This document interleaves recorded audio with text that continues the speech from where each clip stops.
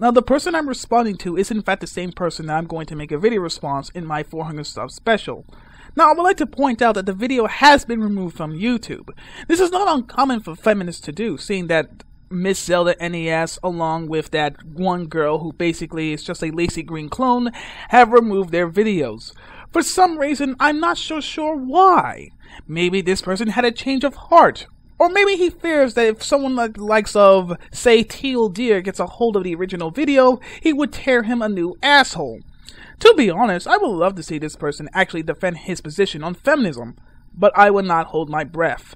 That being said and done, consider this video a 375 sub special.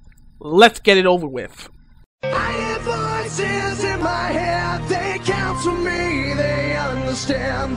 So today I wanted to discuss the whole feminism versus egalitarian debate and basically my two cents on the whole matter. Why do I have the feeling that the only reason you made this video is because you saw my video making fun of your friend, and I made a video in such a strange style that you had to make a video response to me on your side channel by dismissing my points entirely? After all, you made this video not too far apart from the video response that you gave me, and you felt like you haven't gotten enough attention on your side channel, so you decided to go to your main channel and clean up your act. So what is the feminism versus egalitarian debate, you might ask? Well, the feminism versus egalitarian debate is basically when feminists will say something like this, well, why do you call yourself an egalitarian? You might as well call yourself a feminist. Or this, well, why would you call yourself a feminist? You might as well call yourself a gender egalitarian. Now, I know that a lot of YouTubers take the whole versus thing literally and actually compare the definitions of one another and say, well, feminism stands for this. Let's take this definition. This is what it stands for. Uh, egalitarian means this. This is what it stands for. And they basically throw around all of these different definitions as a way to say, well, either feminism's better or egalitarianism's better. But at the end of the day, it doesn't really matter on what the definition is. What matters is the actions. Usually it leads with egalitarian being better because, well, feminism says it's in the advocacy of women's rights to be equal to men. And many people say, well, they're focusing on women being equal. They're only focusing on women, whereas egalitarianism is mainly focusing on everyone. And guess what modern day feminists complain about? Such stupid things like ban bossing and man spreading. And let's not forget that feminists, even today, are still using outdated arguments like the wage gap myth and the race statistic myths, which, of course, you in your videos about me, you have no problem accepting. To force the ideology that women are being paid less than men due to no other factors outside of sexism. And also, which has been proven, you go on to say it's been debunked. The number's been debunked. The idea of women being paid less has not been debunked, so way to go. And no, I did not edit that. He actually just literally just stated that I am wrong because apparently I'm wrong. That's it. He didn't provide any links. He didn't say any sources whatsoever.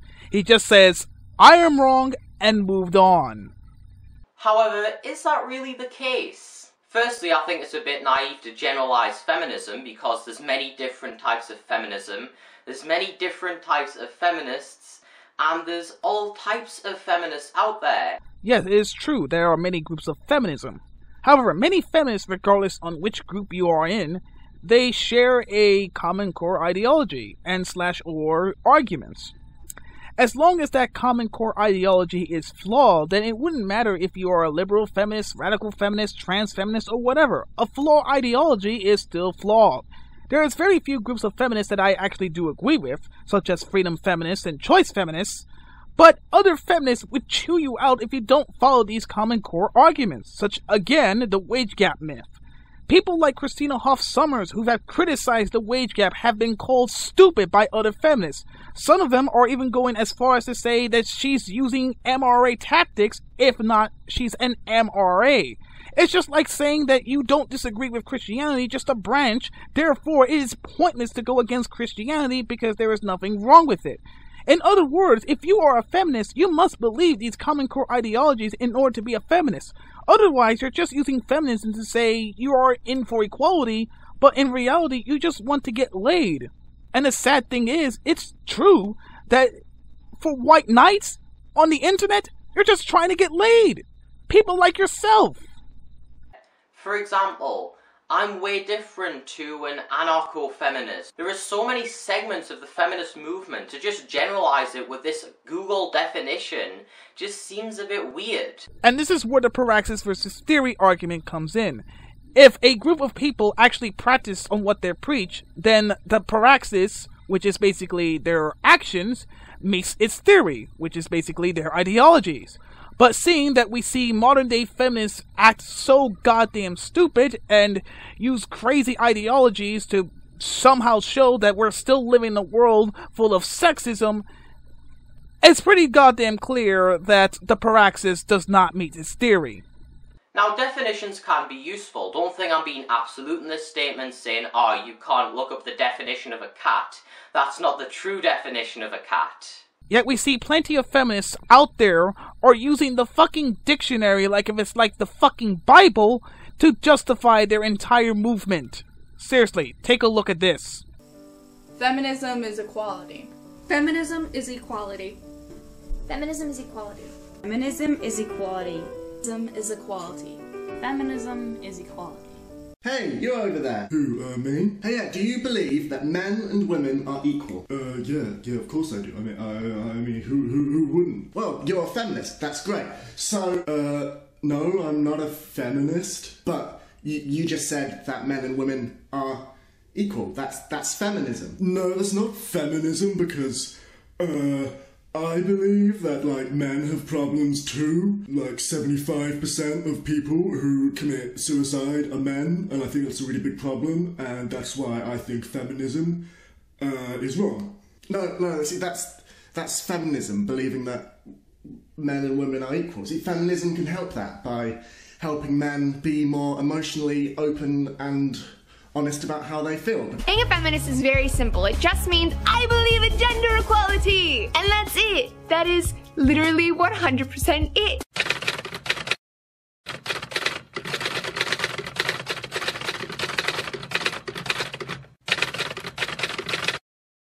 Hey kiddos, do you believe that both genders should be treated equally? If yes, then congrats, my friend.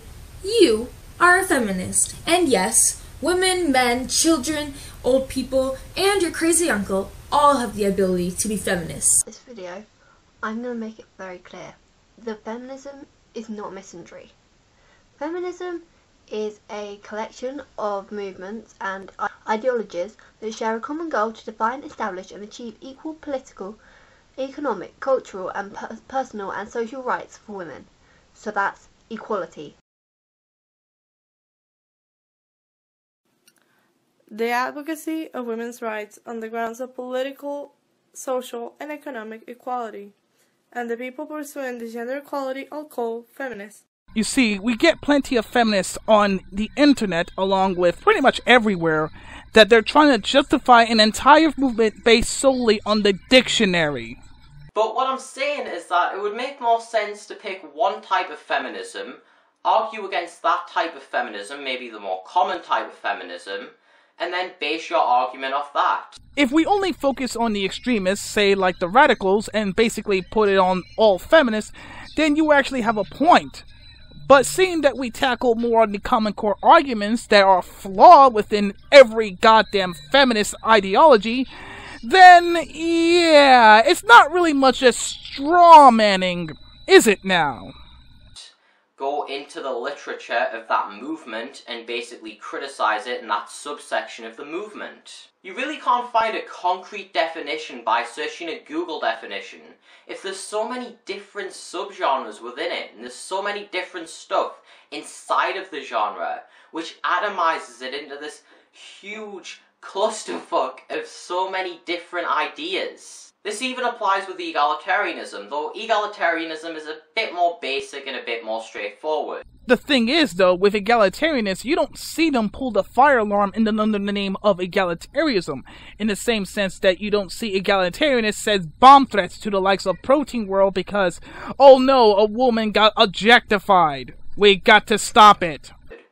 Now, I would say if you're going to label yourself as an egalitarian, if you really want to be specific, go with a universal egalitarian. That way, it makes sure that you're known as someone who cares for everybody in the world, not just men and women and a few others. Dog, are you disappointed that someone is not going to be a part of your hive mind? What a shame. Now, what I will say is that feminism is an egalitarian movement. In theory, yes. But in praxis, well, let's just say, hell's no. Feminism is striving for men and women to be equal to one another.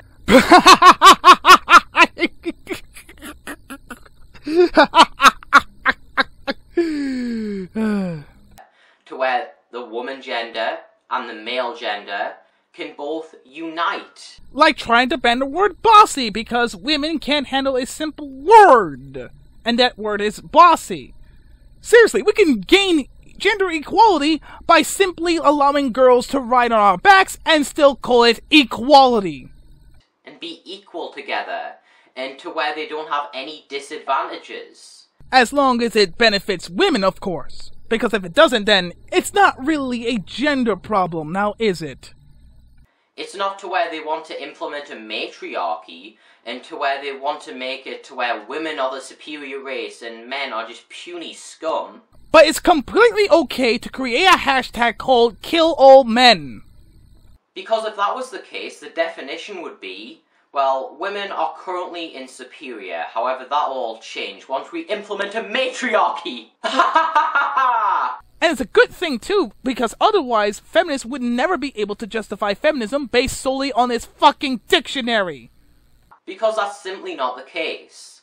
Feminism is an egalitarian movement. However, does that necessarily mean that an egalitarian is a feminist? Well, not exactly. Because while feminism is an egalitarian movement, there is way more stuff to do with feminism than just egalitarianism. There's so many ideas which you're just brushing off. Now really, what I'm trying to get at, just because you're an egalitarian, that doesn't automatically make you a feminist. However, if you're a feminist, then you technically are an egalitarian if you agree that men and women should be equal. Even though you defended a guy who basically says that egalitarianism and feminism is basically the exact same thing by stating that feminism is just a branch of egalitarianism. Yeah. However, does all this fighting really matter? To me, it doesn't matter what someone labels himself as. Just so long as they know that everyone should be equal, they don't care who's trying to make it equal, whether it be a feminist, an egalitarian, an equalist, a humanist, or a masculinist, or anyone. But of course, it would be very, very nice if everyone just became a feminist so that way we can all live in happy, happy land. And plus, it's kind of important on how they're going to achieve equality because if it involves castrating males, well then I guess I have to go against feminism. So long as they're not biased people and they can look at things with an open mind, be respectful to one another, and not care that much that their friend may refer to themselves as a feminist or an egalitarian.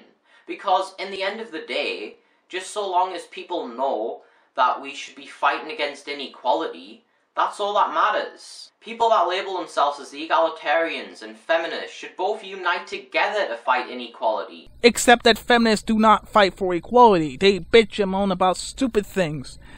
And if we were living in a third world country, then yeah, I would say, yeah, egalitarians and feminists should unite together. I would even go as far as to call myself as a feminist. But feminists don't focus on third world problems. They focus on first world problems that are completely ridiculous. Instead of separating each other and getting into war over a name. Because just so long as you're not this crazy MRA that agrees with Stefan Molyneux or Girl Writes What. Oh, I would love for you to make a video on the MRA so that way the Dr. Randomercam or, or how you pronounce his name? I, I can't pronounce his name. Um, basically makes a video response to you debunking your entire video and making you look stupid. Or if you're this radical feminist that believes that women are the superior race and men need to be wiped off, then there isn't really an issue. Just so long as you're out for the betterment of other people, or even actually accomplish that and actually go out and make the world a better place. Like manspreading! It's a big fucking issue! Apparently! Just so long as you aren't judgmental of other people's beliefs. Are you kidding me? Feminists do this shit all the fucking time, especially with other feminists who don't follow the traditional wage gap ideology. So that is all for I have to say for now. Thank you for watching my videos. I am the Atheist Gamer. Peace the game out.